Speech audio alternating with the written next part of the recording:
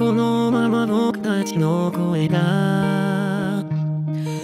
世界の端っこまで消えることなく届いたりしたらいいのにな。そしたらね二人でどんな言葉を花と消えることない約束を二人でせーのでいよう